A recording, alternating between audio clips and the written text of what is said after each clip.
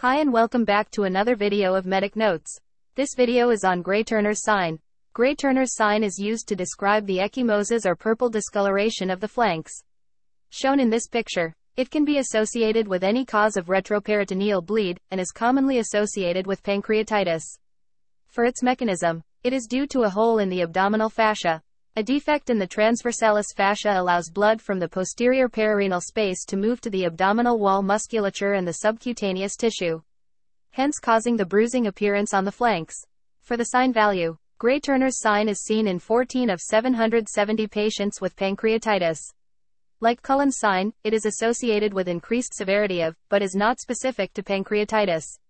Grey Turner's sign is nonspecific, but if seen, the patient should be investigated for potential sources of retroperitoneal bleeding.